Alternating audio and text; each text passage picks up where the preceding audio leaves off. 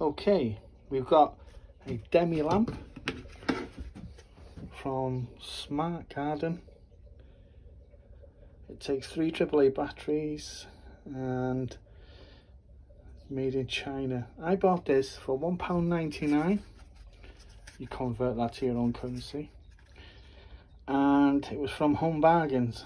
No, £1.99. I had a bit of string here, it's great. It works. Look, turn the light on and ideal. I mean, put it on the wall. It looks quite nice on the wall as well. Got a little, got a little hook here. The only thing I find wrong with it is the blue. I'd much rather it black. So notice how it's been put together. It's got some Phillips screws on it. And I'm thinking to myself, it's easy enough to take off. I can spray it black. Well, let's have a go, shall we? Maybe it's me, but all I can see is an old-fashioned UFO. Remember the UFO, you know, I want to believe kind of picture. Do you know what? I might actually, that's an idea that. I wonder if I could turn this, yeah, into, you know, the X-Files I want to believe photo. You know, the the poster, the obligatory poster that every sci-fi fan's got. I was actually going to buy one from uh, eBay, but they're like seven, eight quid. I'm thinking, oh, it's a lot of money. So just give me an idea. What you reckon? If I, if I spray this, I turn this black, right? And then I, you know, I could actually create a photo and put it, a poster, and put it on this wall here in my shed. If I put that there, like that, in my shed, and then create a photo, that'd be quite good. So then, if I want a bit of light, I can do that. Hmm, there's an idea. That's what I'm going to do. I've decided now. Now I've got to, what I first have to do is go online get a copy of the photo, the poster, sorry, and recreate it. If I can recreate it on that wall, there, on my shed wall, next to that, next to that. So that's what I'll do. I'm gonna put that there, like maybe a little tilt, and then I want to believe the X-Files. That's what I'm gonna do, I'm gonna copy that. So, there we go. From just spraying this black I'm going to create a kind of wall poster type thing from the X-Files. Yeah, let's get cracking. Okay, here we are. Let's have a look. Got my trusty Roebuck Phillips. Right. So hopefully if I just take maybe these two off, let's have a look. If I take these two off, that should just come off. Let's have a look what we can do off. Don't lose the screw.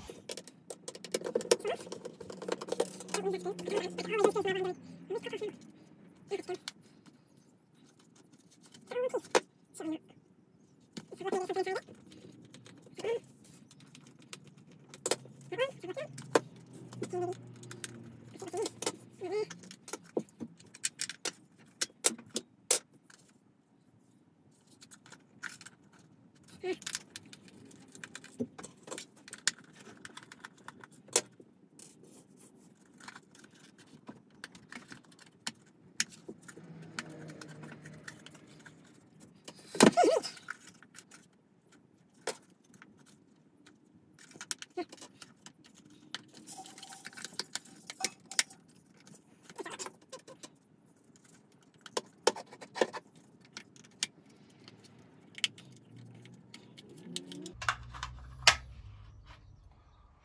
What's holding it there then?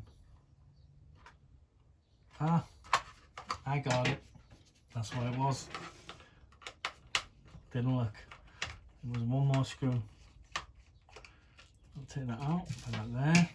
That should come out now, that's it. Look at that. So that's that done. So this is off. Now all I have to do is spray that. And put it back together. Right, let's on to the next one. Okay, I've given it a wipe with a bit of tissue. I'm outside by the way. Put this stuff in my shed. So I'll just give it a quick look. There's not much grease on it. I've seen the greasy parts. And I'm going to spray it. Now, seeing as I'm a cheapskate anyway, um, the paint I'm going to use is Auto Extreme Black Matte. Now this was only a pound from a shop in Britain called Poundland.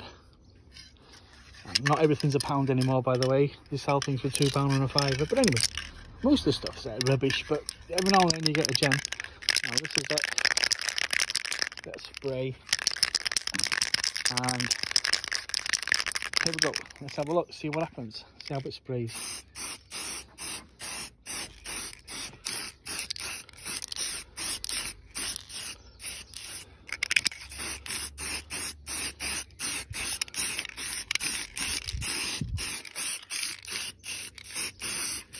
That's not bad, is it?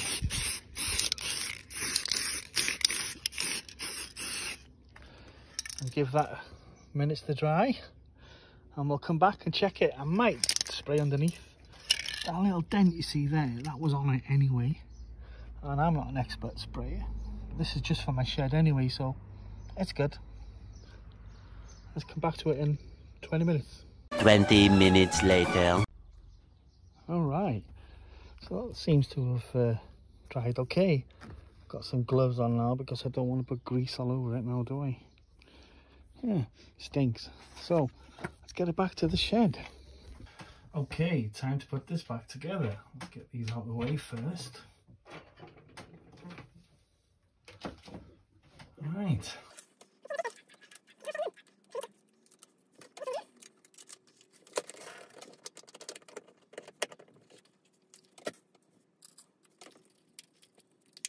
The reason why I'm wearing gloves is just that I don't want to get any ink. Ink. I don't want to get any grease spots right now. Because the paint's still quite fresh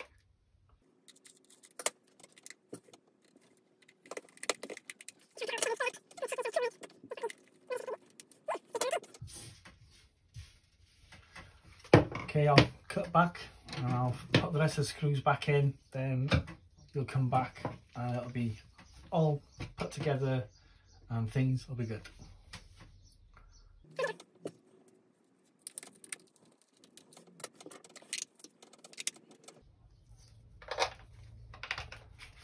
Double check. Yes. All right.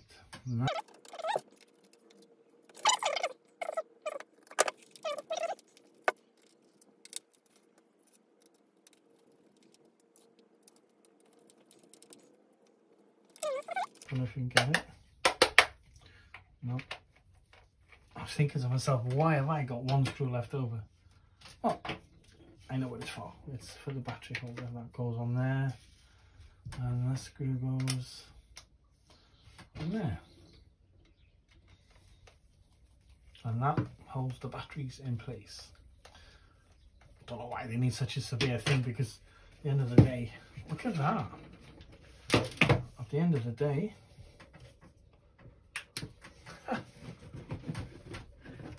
What do you think? Not bad. Okay, all done, all back together. it's time to make that poster. Okay, so what we'll have to do now is figure out where on this wall is going to go, kind of thing. Obviously, it's going to go here somewhere. Put it on the wall and then figure out how far down below the writing's going to be. And then figure out how am I going to put the writing on the wall? Shall I stencil it like that? I made a stencil for that. That's obviously you can tell it's homemade. But as I thought afterwards I should have put that in the middle. But that's why I'm going to have to fit this side now.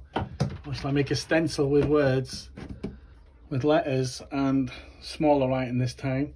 Now, do I do the letters black and leave it as a white background? or do I spray black like I did there on that one and then have the letters in white. So we'll see. I don't know. But anyway. Tune in next time. See the next video and see whether we're going to go with black writing on white or white on black and whether we're going to stencil it or get stick on letters and see how it goes